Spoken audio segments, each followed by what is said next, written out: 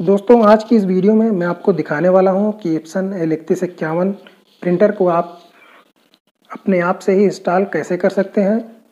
Customer care पर phone करके बुलाने की ज़रूरत नहीं पड़ेगी।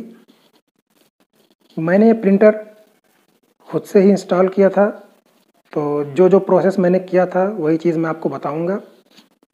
और ये बिल्कुल ही आसान है, और आप बड़े ही आसानी से इसको कर लेंगे। तो सबसे पहले आपको इसमें इंक डालना है तो आप यहाँ पर देखेंगे, इंक टैंक, उसके ऊपर ये बॉक्स बना हुआ है तो इसको ओपन कर लेंगे।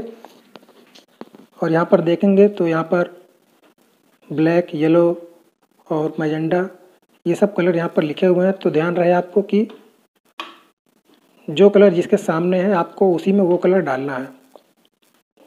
तो इस तरह से बोतल को ओपन करेंगे इसका ढक्कन और इसमें लगा देंगे।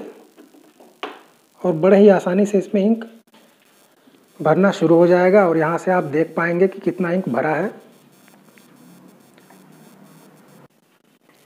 चारों इंक डाल लेने के बाद आपको इसको अच्छे से बंद कर देना है। फिर उसके बाद आपको प्रिंटर का पावर बटन ऑन करना है। ऑन करने के बाद आप यहाँ पर देखेंगे एक रेड कलर की लाइट यहाँ पर ब्लिंक होगी और इसके बगल में एक बटन है। इस बटन को आपको लगभग चार से पाँच सेकंड तक दबाए रखना है। उसके बाद आप इसको छोड़ देंगे तो प्रिंटर ऑटोमेटिकली इंस्टॉलेशन स्टार्ट कर लेगा। और लगभग सात से आठ मिनट का समय लगेगा पूरा इंस्टॉलेशन कंप्लीट होने में।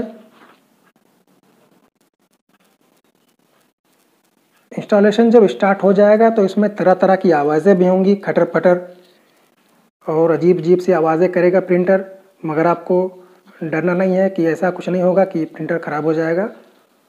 प्रिंटर ऐसी आवाज़ करता ही है, इंस्टॉल जब होता है तब। और इस बीच आपको कुछ भी नहीं करना है, कोई भी बटन आपको नहीं दबाना है, और जब सात आठ मिनट हो जाएगा, प्रिंटर अपना इंस्टॉलेशन कंप्लीट कर लेगा तो ऑटोमेटिक ये लाइट यहाँ से ब्लिंक होना बंद हो जाएगी, और प्रिंटर बिल्कुल शांत हो जाएगा, कोई भी आवाज़ नहीं करेगा। तो इसका मतलब आप समझ जाइएगा कि आपका प्रिंटर अब रेडी है यूज़ करने के लिए। उसके बाद आप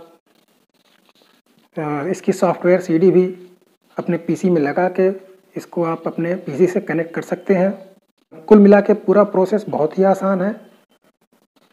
अगर आपको वीडियो पसंद आया हो तो लाइक करें शेयर करें और चैनल को सब्सक्राइब करना ना भूलें। मिलते हैं आपसे अगले वीडियो में।